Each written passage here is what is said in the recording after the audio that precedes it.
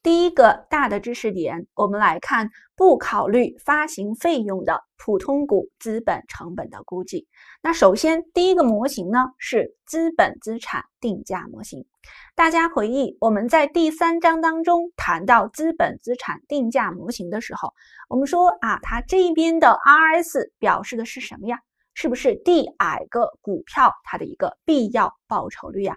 那么投资人所要求的必要报酬率，我们转换一下视角，那不就是公司的资本成本了吗？所以呢，这个资本资产定价模型，它可以作为普通股资本成本的一个估计。那大家看这个模型当中呢，其实啊，把它分成了两个大的部分，对不对？那前面的这一个啊，说它的这个报酬率受什么影响啊？受到无风险收益的影响。那后面是它对应的一个风险溢价。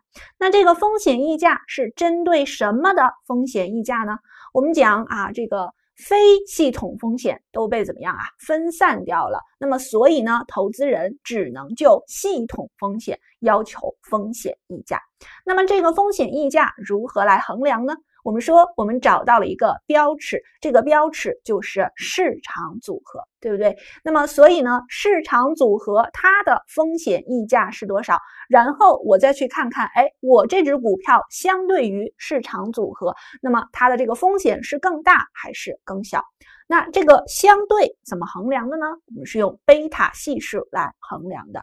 如果我这只股票它相对于市场组合，它的风险要来的更高一些。当然，我们说的这个风险是什么风险呢？非系统风险被分散掉了，所以只剩下系统风险。它的风险来的更高一些，也就是贝塔值大于一的时候，那它的这个啊对应的风险溢价也会更高一些。那如果它的风险来的更低一些啊，比如说它的贝塔值小于一，所以后面呢，它的风险溢价也会更低一些。这就是关于这个资本资产定价模型。大家如果有一些内容啊，你可能觉得已经忘记的话，可以去看一下我们第三章当中具体的相关讲解。好，下面我们来看一下教材上面的例四杠四，他说市场无风险利率是百分之十。平均的风险股票的报酬率是百分之十四，这个其实就是我们所说的那个市场的风险。某公司普通股的贝塔值是百分之一点二，那么问普通股的成本是多少？我们把这个呃这个投资人啊他要求的一个报酬率算出来，那么就作为他普通股的一个成本。怎么算呢？我们说是无风险的部分加上一个风险的溢价，无风险的部分是百分之十，风险的溢价是多少呢？是相对于这个。啊，这个市场风险对不对？那么平均的风险啊，股票的一个报酬率是百分之十四。那么它的市场风险溢价等于多少呢？就是百分之十四减去一个这个 RF 啊，减去无风险的这一部分收益，然后再去乘以它的贝塔值。那么算出来呢是百分之十四点八。那同学可能会觉得啊，这个估计简直太简单了，对不对？我啊直接套用资本资产定价模型，把对应的参数啊套到里面去，我就可以得到它的一个。啊，这个资本成本的估计了。那我们说，刚才我们的这道例题是在什么样的情况下呀？那资本资产定价模型它所对应的参数，我们都知道的情况下，我们知道啊，无风险啊是百分之十啊，这个风险的啊这个平均的报酬呢是百分之十四，贝塔值呢是百分之一点二。那问题是这些值我们是怎么样啊？需要估计的，它不是平白无故就出现在那里。对不对？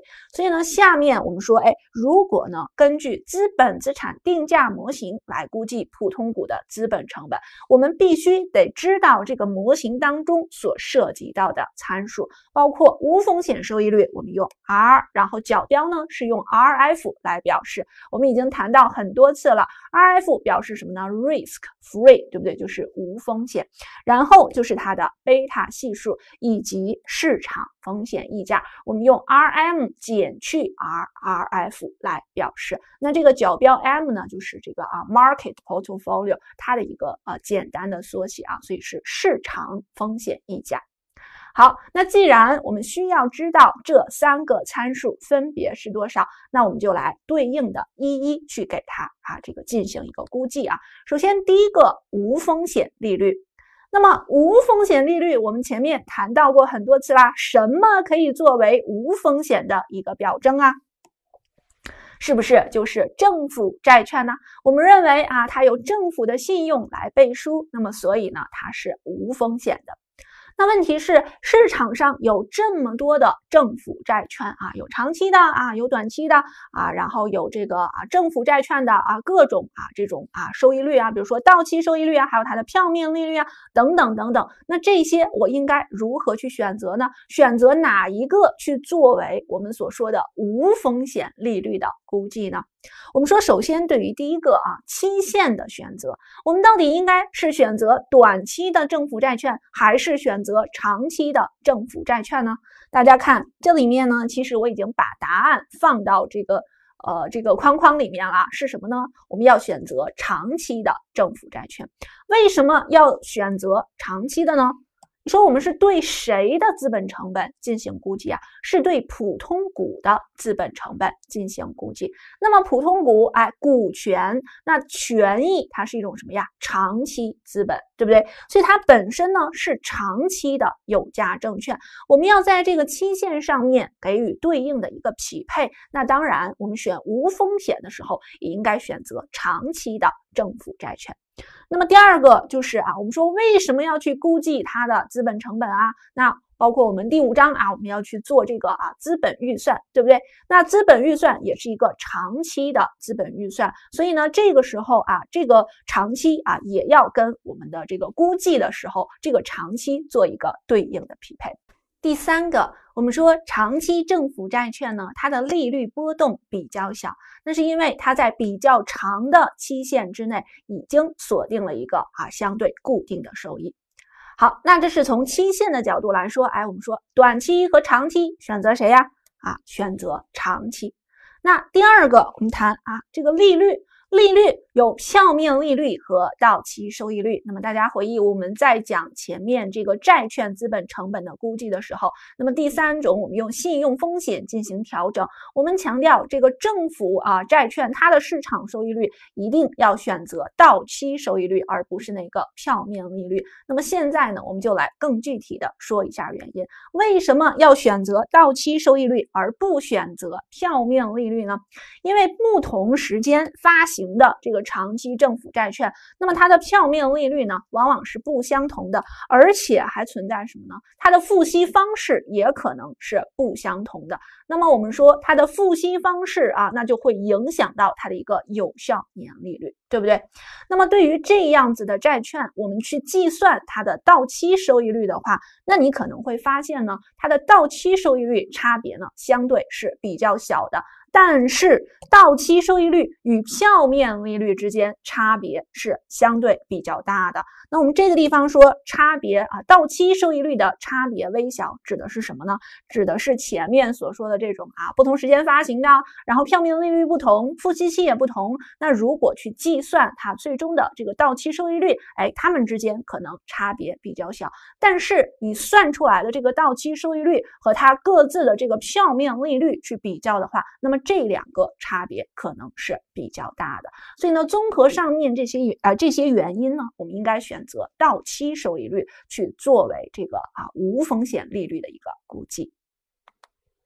那么第三个就是对于利率而言呢，我们是选择名义的还是实际的？首先我们要明确一下名义和实际的一个关系啊。我们如果啊用这个 R R F 啊角标是 R F 表示它的一个名义的利率的话。然后呢，用 R 星表示它的实际利率，这个跟我们第三章对于利率的这个表示方式是这个一致的啊。R 星表示它的实际利率，那实际利率和名义利率之间存在什么样的关系呢？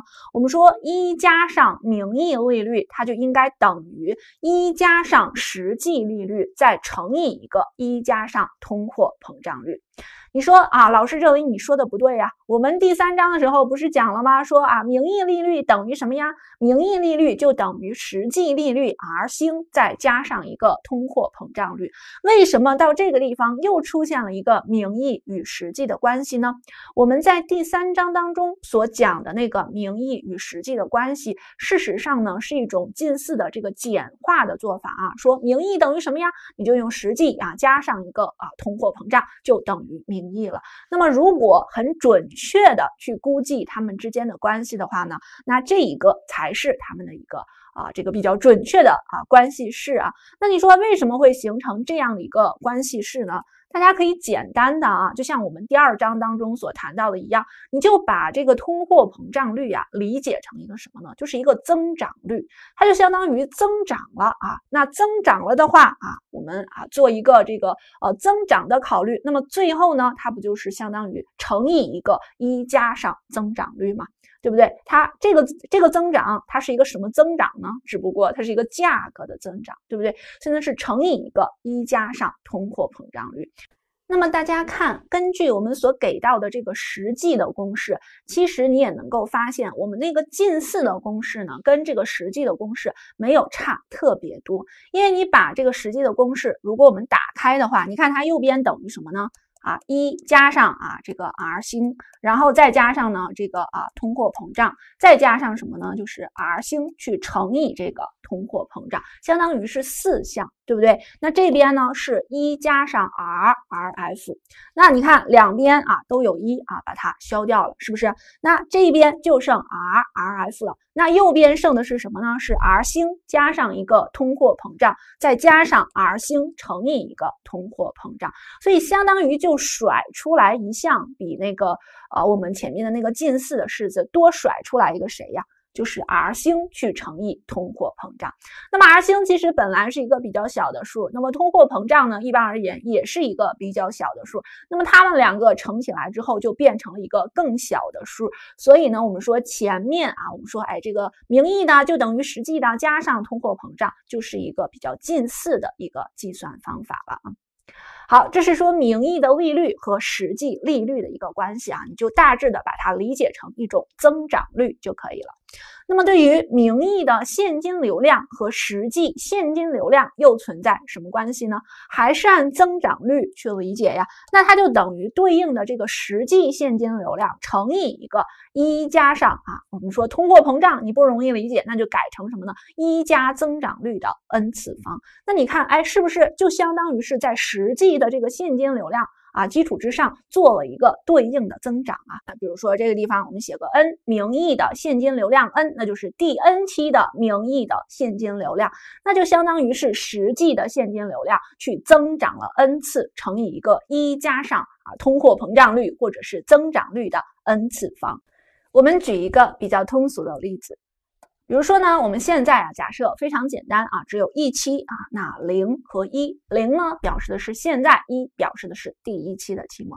我说零啊，现在现在时刻的啊一百块钱，那我啊它就值多少钱呢？就值一百块钱，对不对？那这是现在的一百块钱。然后我告诉你啊，就未来呀，它会发生一个通货膨胀。那么预计呢，这一期啊，通货膨胀率是多少呢？是百分之十。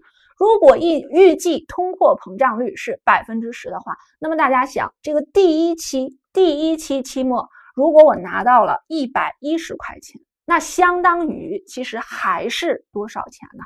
是不是还是一百块钱呢？对不对？因为啊，这个啊，这期间啊，通货膨胀率呢是百分之十，所以呢，相当于我有了一个这个价格的百分之十的增长。那么实际上，那这个第一期的一百一十块钱，它实际值多少钱呢？我就是用一百一十除以一个一加上通货膨胀率除以一个一点一，那它等于多少呢？不就是一百块钱吗？也就是说，这个时候的一百一十块钱是一个名义的现金流量，它去除掉啊，我我这一个期间通货膨胀率的这种货币的增长之后，那么它实际上相当于只值多少钱呢？跟现在的一百块钱是等价的，所以它其实就是一种货币的增长。那么它是第几期啊？我们看到这里面啊，名义的现金流量它是第几期？那就相当于这个实际的货币增长了几次，所以是乘以一个一加上通通货膨胀率，或者你就把它理解成增长率的 n 次方，有点像我们第三章当中所讲的那个复利的感觉啊。就像我们这个例子啊，那如果我们说后面再有一期啊，这个第二期，那么第二期第一期到第二期，假设啊，它的这个通货膨胀率呢仍然是百分之十，那么第一期啊期末的这一个一百一十，那么它第二期期末，比如说我们有多少钱呢？比如说有一百二十一块钱，那这个一百二十一块钱，那相当于现在的多少钱呢？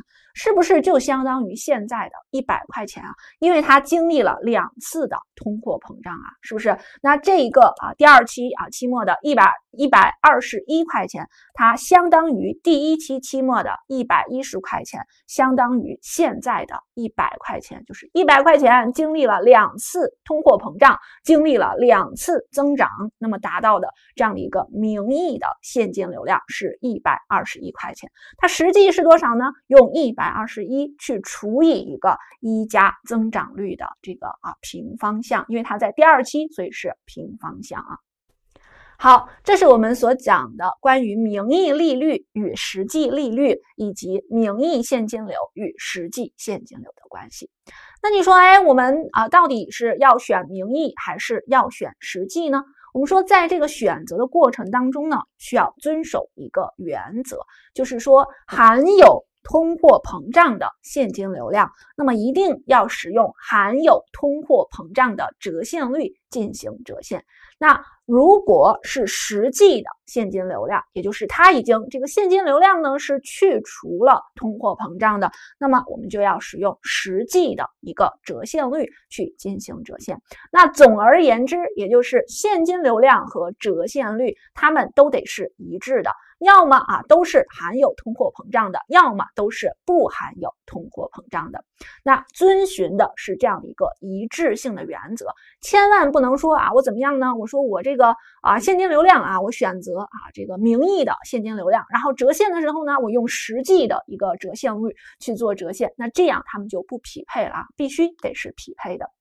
那这里面我们做一个提示啊，因为我们遵守这样的原则，那实实呃，那事实上呢，对于同一个现金流来说呢，这两种折现方法一定是得到一个完全一致的结果啊。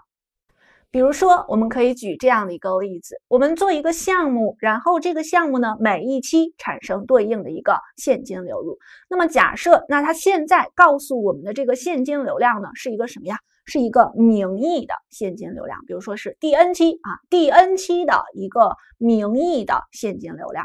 那么这个第 n 期的名义现金流量，我要怎么样啊？给它折现到现在，我就得用什么呀？因为现金流量是名义的，所以我去折现的时候也得用名义的一个折现率，对不对？那名义的折现率是这个 RRF 作为名义的折现率，怎么去折现呢？第 n 期名义的现金流去除以一个对应的这个折现率，那它的折现率呢？我们说是按这个 RRF 来进行折现。折现多少期呢？因为它是第 n 期的现金流，那所以这个地方呢，我们折现也是啊，折现 n 期，对不对？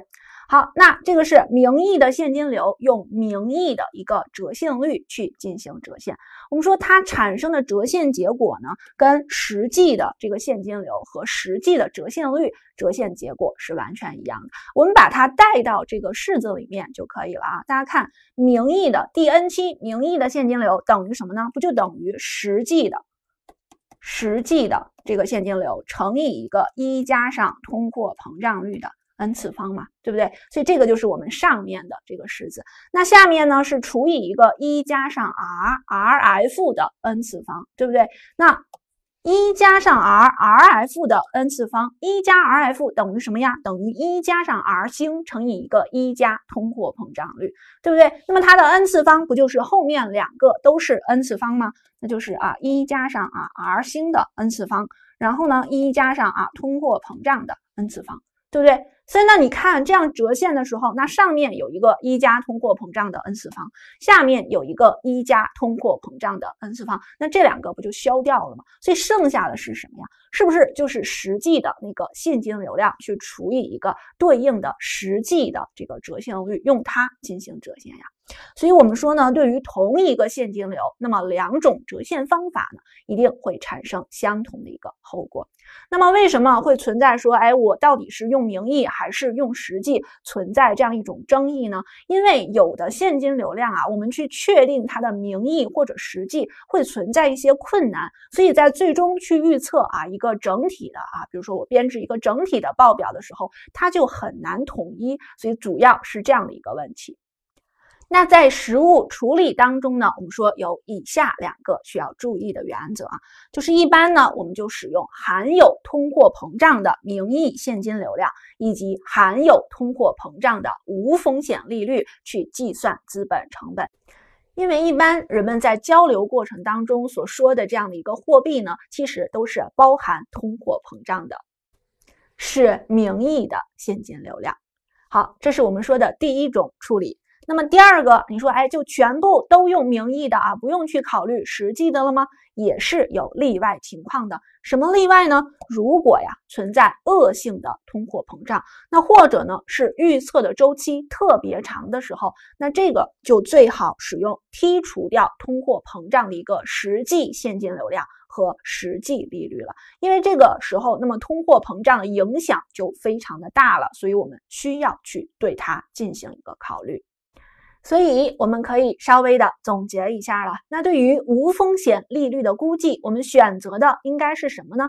是长期政府债券的一个到期收益率。而且一般如果不存在啊说这种恶性的通货膨胀，或者呢是啊估计的时间特别长的情况下，我们都采用名义的现金流量和名义的无风险利率来计算对应的资本成本。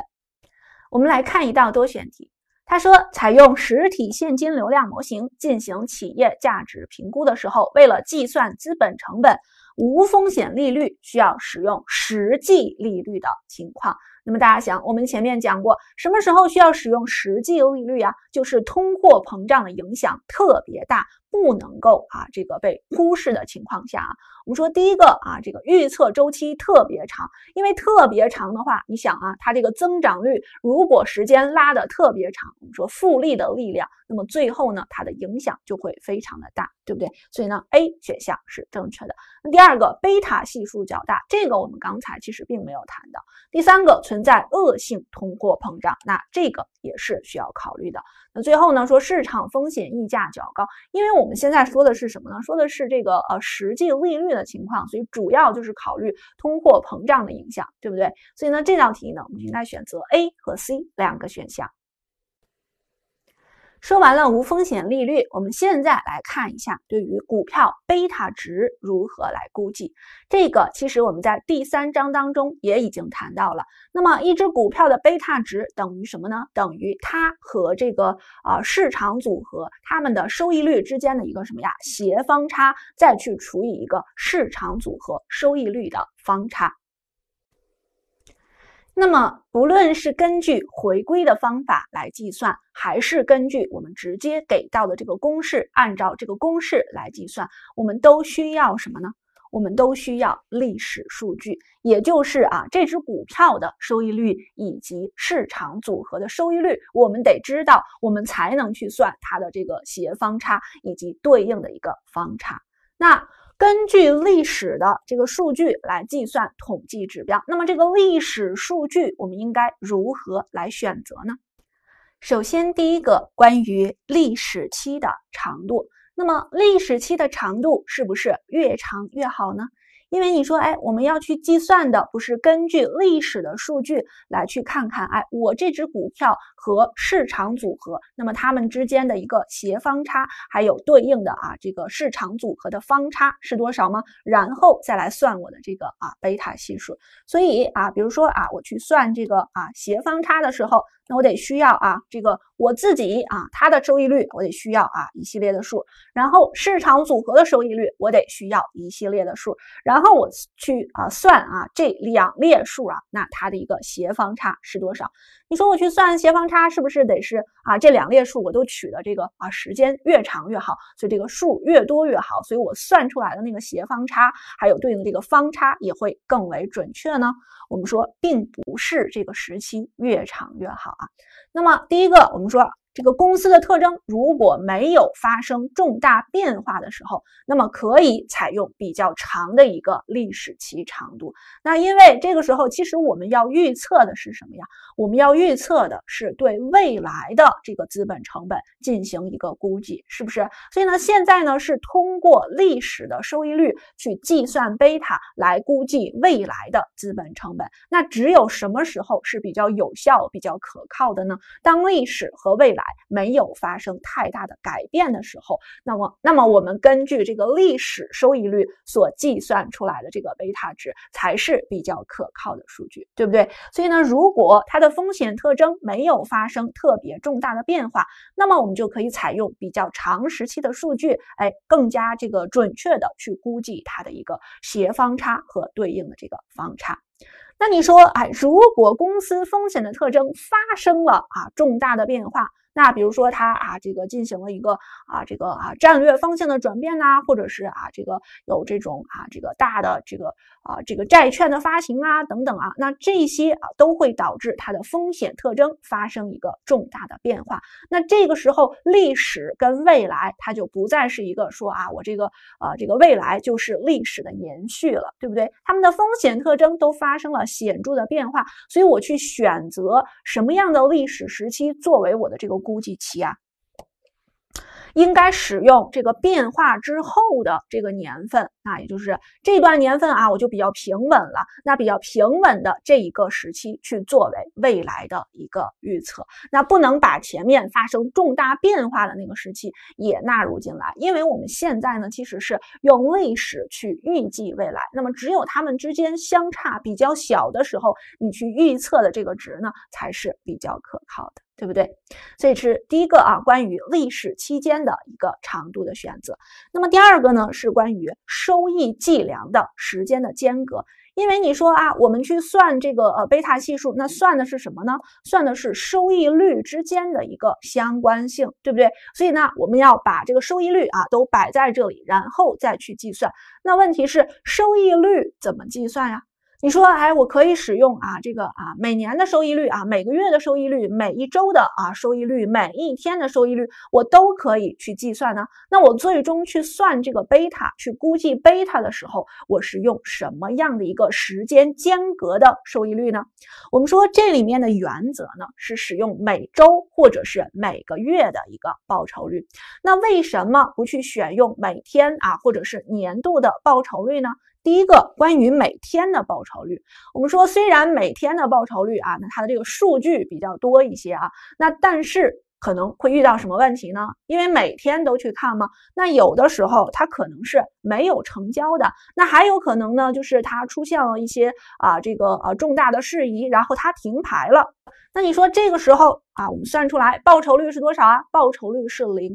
那如果你按天去计算它的报酬，里面有很多这样为零的数据的话，那么它就会导致我们最终估计出来的这样的一个统计量呢，它有所偏差。所以每日的报酬率是不适用的。那么对于年度报酬率呢？因为我们算的事实上是两个报酬率之间的一个相关性，对不对？所以我们是需要一定的数据才能满足我们的计算要求的。那年度报酬率一年只有一个报酬率，所以我们在计算的时候呢，就得需要很多年的数据。那很多年又是一个比较长的期间啦，对不对？那在这个比较长的期间之中，那资本市场和企业都有可能发生了非常重大的改变，物是人非。那比如一个企业三年之前主营卖服装的，那么三年之后主营变成投资房地产去了。但是我们选用年度报酬率，是把这么多年的数据啊放在一起去做一个估计，那么显然估计出来的结果可靠性就大大下降了。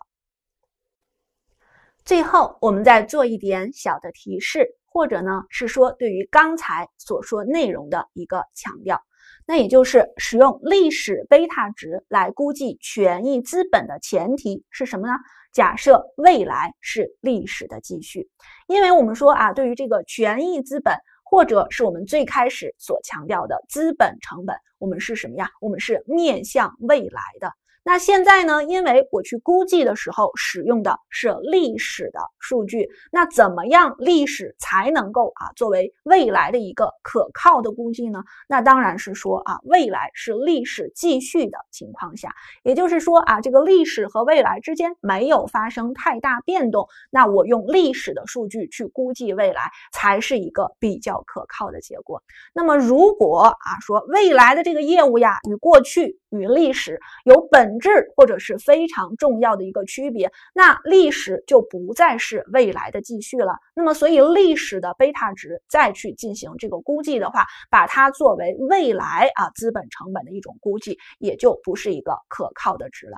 那这个时候，我们应该如何去进行估计呢？就像我们前面所写的一样啊，如果公司的风险特征发生了重大变化，那应当使用什么啊？变化之后的这个年份啊，作为历史期的长长度，因为变化之后，那它可能就相对平稳了。那这一段变化之后的时期，那么可能相对来说啊，对于未来来说，它就可以是一个啊这个比较好的一个预测了。最后一个参数对于市场风险溢价的估计，那什么是市场风险溢价呢？大家注意它的这个定义啊，是在一个相当长的历史时期里面，市场的平均收益率与无风险的一个平均收益率之间的差异，就叫市场风险溢价。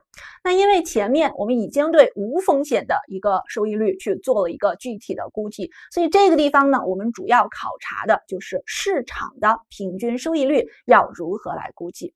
那首先时间跨度。大家注意，我们的含义当中已经明确了，它是一个什么呀？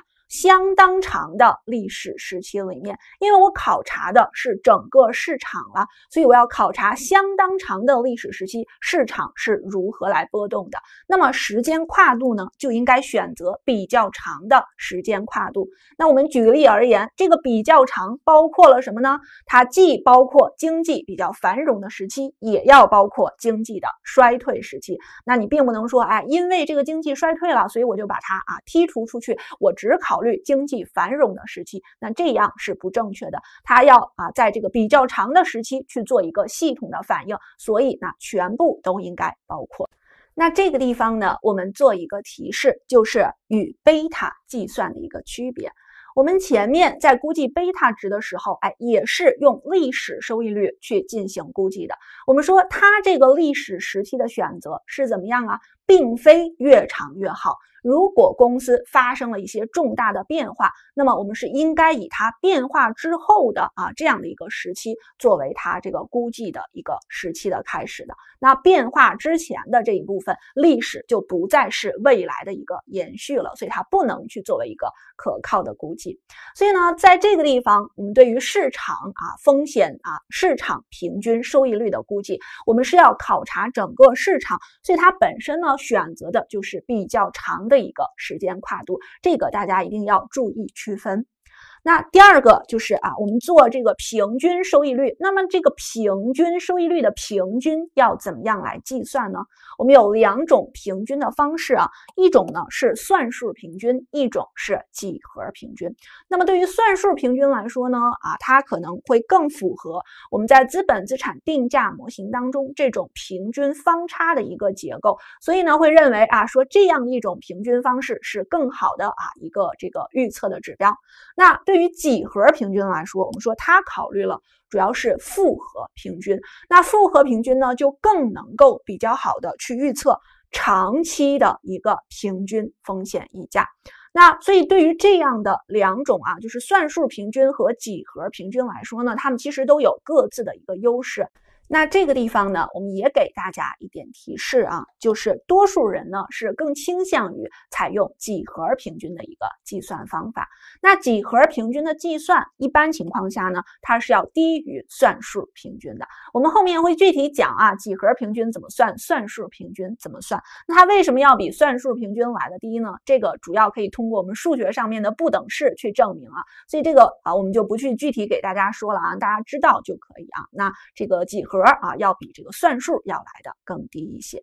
好，现在呢，我们就来看看这个算术平均和几何平均分别是怎么计算的。首先，我们算的是什么呀？我们算的是一个平均的收益率。那么，收益率怎么去计算呢？我们说啊，对于啊这个我们用 R 来表示收益率啊，然后这个角标呢就表示啊第一期的收益率啊，第二期的啊这个啊收益率。那么第一期的收益率等于什么呢？就是 P 一减去 P 零再除以 P 零。如果我们用 P 来表示价格的话，那么 P 一呢就是第一期的一个价格，P 零呢就是第零期的价格。那 P 一减 P 零啊，再除以 P 零就是它的一个收益率。那大家看到这个其实就是我们所说的一个什么，就有点像增长率的概念，对不对？就是末减去初，然后再减出。那比如说啊，我们用这个啊大盘的这个指数啊作为它的一个呃收益率的衡量。那比如说这个啊这个上证啊综指啊，比如说啊这个啊前一天啊是这个三千二百点啊收盘啊，这是啊前面一天。然后呢，今天啊这个最后啊收盘的时候啊。这个指数是多少呢？比如说啊，它比前面啊涨了啊这个二十点，是三千二百二十点收盘。那我问你，这一天它的一个收益率怎么样去计算呢？那这个就是啊 P 零，那这个就是啊 P 一，对不对？所以我们说这一天的收益率，那就是三千二百二十 P 一减去三千二百，然后呢再去除以三千二百，这个就是它这一天的一个收益率啊。那也就是我们这里面所写的这个 R 一。那第二天的收益率，那就用。啊，再下一天的这个呃这个收盘的价格减去它上一天的收盘的价格，再除以上一天的收盘价格，所以总是末减去初，再去除以初，得到的就是它对应的一个收益率了。那这是我们明确，首先就是收益率要如何来计算，对不对？那么第二个就是要给这个收益率去做一个平均。那我们可以去做算术平均，也可以去做几何平均。首先我们来看算术平均怎么算啊？那我们用这个 R A bar 来表示算术平均啊，因为它的这个英文呢是 A 开头的，所以我们就用 A 作为它的一个角标。算术平均其实非常的简单，你说我把这一段时期啊，它啊这个啊每啊每一个这个收益率我都给它算出来，一共有几个收益率呀？好，我去数一下，一共有 n 个收益率，那我就加起来之后除以 n，就直接得到这个平均值了。所以，我们后面写的这个啊，又是一个求和公式啊，大家看到它不要特别的害怕，它其实就等于啊 r 一加 r 二啊，一直加到 r n，我们给它一个记号啊，就是这个一个求和公式的记号。然后呢，因为取算术平均有几个值，我就除以几，所以这个地方呢就是除以 n，这是算术平均的一个计算。那么对于几何平均啊，我们用 Rg 啊，然后上面这个 bar 来进行表示啊，那角标是 G，那对应的是它英文这个几何的一个意思啊。那几何平均怎么计算呢？大家看到它是怎么样啊？就是一加上 r 一，然后一加 r 二，一加 r 三，一直到一加 r n 开 n 次根号，然后再减一。你说这个几何平均啊？你说算数平均我还能理解啊，加起来之后，然后啊除以它的这个个数就是算数平均了。那到几何平均这里面是个什么东西呢？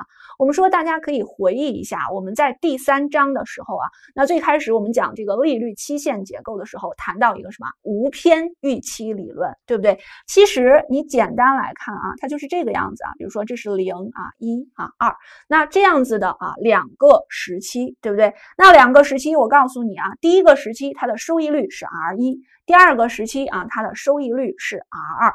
那我想问你一下，这两个时期它的平均收益率是多少？也就是我们这里面所写的这个 rg 棒。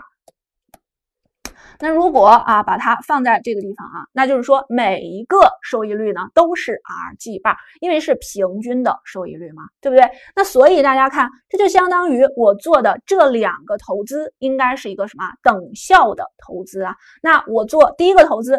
它的收益率是什么啊？就是一加 R 一乘以一加 R，因为我第一期的收益率是 R 一，第二期的收益率是 R 二。那我问你，在这两个时期当中，我的啊这个第二期期末总的一个收益率是多少啊？不就是一加 R 一乘以一加 R 二吗？这是我的啊第一种啊投资方式。那第二种，我们想算一个平均收益率，它应该跟我前面的是一个等效的，或者说呢，我这个平均收益率就是让我最后啊。啊，这个两期啊之后取得的这个收益跟我前面的那个相等，那它是什么呢？每一期啊都是啊 rgb 对不对？每一期都是 rgb 两期每期都是，那么所以两期之后它的收益率就是一加上 rgb 的平方，是不是？那因为它们两个得相等啊，那所以它就等于一加 R 一乘以一加 R 二。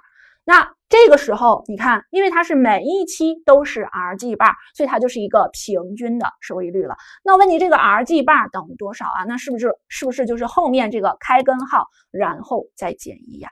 那这是两期的一个情形，你把它推广到 n 期，那就相当于什么呢？哎，我这个后面啊，n 期啊，我每一期啊平均下来都是 rgb 那我产生的这个收益是多少呢？不就是一加上 rgb 的 n 次方吗？那如果我要分着来的话，那是不是就是一加 R 一、一加 R 二、一加 R 三，一直到一加 Rn 呢？那所以问 Rg bar 等于多少？那不就是一加 R 一一直到一加 Rn 开一个 n 次根号？再减一吗，因为它本来是一加 Rg bar 的这个 n 次方等于后面的这个一加 R 一一直乘到一加 Rn 的。那现在反过来去求它，我们就开 n 次根号，然后再减一。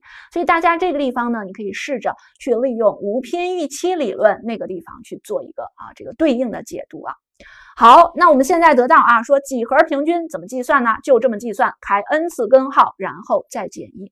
那 r 一、r 二、r 三一直到 Rn 都等于多少呢？我们前面不是已经算出来了吗？对不对？r 一等于什么呀？不就是 p 一减 p 零除以 p 零吗？r 二等于什么呀？不就是 p 二减 p 一除以 p 一吗？每一个都把它带进去，那么大家就会发现，你看。P 一比上 P 零，然后再减一，那这个地方不就是 P 一比 P 零再减一吗？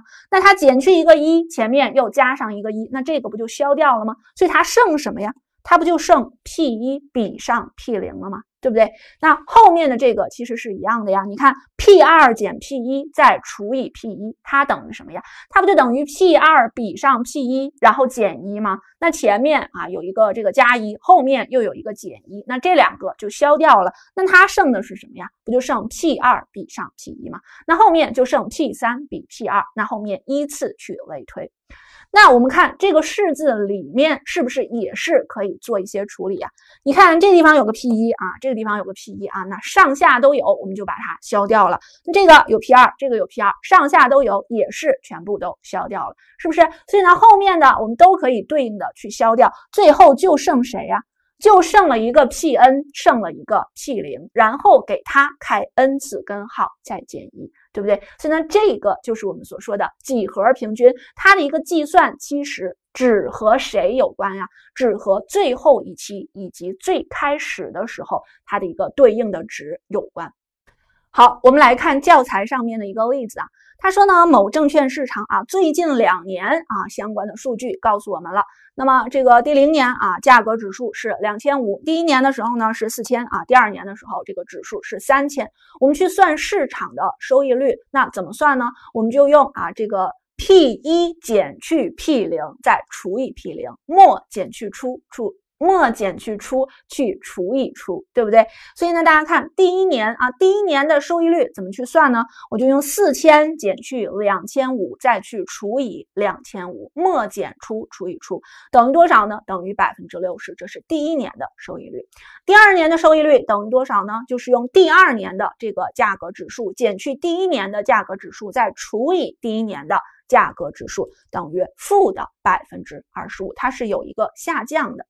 好，那我们现在把市场收益率算出来了之后，我们再看一下它的一个具体的平均怎么计算。首先，对于算数平均，我们说算数平均非常简单啊，是不是？就是你算出来了这个收益率之后，然后你把它加起来之后啊，除以二就可以了，对不对？所以呢，这个地方我们算出来，算数平均等于多少啊？就是百分之十七点五。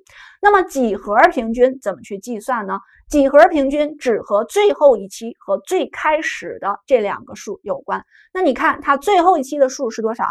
最后一期的数是三千，最开始的数是多少？是两千五，对不对？所以呢，就是三千除以两千五，开根号减一，那就等于它的一个几何平均值了。这里面要再提醒一下大家啊，那你看算术平均和几何平均，它们的期数都是几期啊？是不是啊？这个地方因为是开两次根号，所以就是多少？是两期，期数都是两期。这个大家千万不要搞错啊！你说前面前面不是有三个数吗？啊，有这个啊零一二有三个数啊，那我后面是不是？比如说我开根号，我就得开三次根号，我去做算术平均，我就得除以三呢？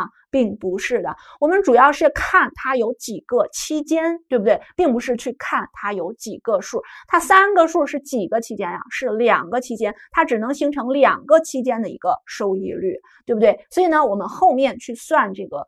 呃，这个收益率的一个平均的话，是去看收益率的个数，看期间的一个个数，所以不是三个数就啊，这个三个收益率，三个数只能有两个收益率，所以它的这个平均呢，期数是按两期，不论是算术平均还是几何平均。好，那我们来看一道多选题。他说呢，资本资产定价模型是估计权益成本的一种方法。问我们下列关于资本资产定价模型参数估计的说法当中正确的有？那么第一个，他说估计无风险报酬率的时候呢，通常可以使用上市交易的政府长期债券的票面利率。我们说并不是票面利率，而是什么呀？到期收益率，对不对？所以呢，这个就不正确了。第二个，他说估计贝塔值的时候呢，使用啊较长年限的数据啊计算出的结果，比使用较短年限的数据计算出的结果更为可靠。我们说计算贝塔值的时候，这个年限并不是越长越好，因为公司的风险可能发生了重大的变化，我们要考虑它这种风险变化。那么以它的这个重大风险变化之后，那么这个时候历史可以是未来延续的时候才可以去进行计算，对不对？所以呢，并不是说直接啊。这个啊期限就越长越好，所以这个也是不正确的。第三个，他说估计市场风险溢价的时候呢，使用较长的啊年限计算出来的结果呢，就比用啊这个较短啊年限啊计算出来的这个结果更为可靠。我们说市场它要考虑一个较长的时期，我们在对于市场风险溢价最开始的定义的时候，就是一个较长的时期之内，对不对？所以它使用较长的时期是没有问题的啊，所以这个是正确的。那么第四个，他说预测未来的这个资本成本的时候呢，如果公司未来的业务将发生重大的变化，就不能用企业自身的历史数据来估计贝塔值。那么这个显然也是正确的，因为这个时候历史不再是未来的继续了，而我们对于资本成本，那应该是什么？面向未来的。所以这道题呢，我们就应该选择 C 和 D 两个选项。我们再来看一道单选题。他说呢，下列关于运用资本资产定价模型估计权益成本的这个描述当中啊，错误的是哪一个？第一个，他说通货膨胀率较低的时候呢，可以选择上市交易的政府长期债券的到期收益率作为无风险利率。这个是不是我们讲的内容啊？所以这个是正确的啊。第二个，他说呢，公司啊三年之前发行了较大规模的一个公司债券，那估计贝塔系数的时候呢，应该使用发行债券日之后的交易数据进行计算，因为它发行较大规模的债券会导致它的这个财务风险发生一个比较大的变动，对不对？就是风险发生重大变化了，那么我们得用发生重大变化之后的再去进行一个估计，这个时候，那么相对稳定的这个时期，那么它才。可能成为未来的一个继续，对不对？所以呢，它使用啊这个之后的数据进行计算，那这个也是正确的。那么第三个，他说呢，危机啊导致了过去两年啊证券市场比较萧条，所以估计市场风险溢价的时候呢，应该剔除这两年的数据。大家注意，它估计的是什么呀？估计的是市场风险溢价。我们前面谈到了市场风险溢价本身去估计，那就应该是一个什么较长的时间段。那么要既包括经济的繁荣期，也包括经济的衰退期，才有可能去反映这个市场本身的一个波动的情况，对不对？所以呢，这个就不正确了，它不能把那个啊这个萧条的就给人家去掉，是不是？啊，最后一个，他说呢，为了更好的去预测啊长期平均的风险溢价，那么估计啊市场风险溢价的时候，应该使用权益市场一个几何平均收益率。那我们说啊，这个呃算这个收益率的时候呢，有几何平均和算术平均，对不对？几何平均呢，考虑了复合平均，所以它更适合去估计长期的一个平均风险溢价。所以呢，这道题啊，第四个选项也是正确的。那我们就应该选择 C 选项。好，那本节的内容就到这里，谢谢大家。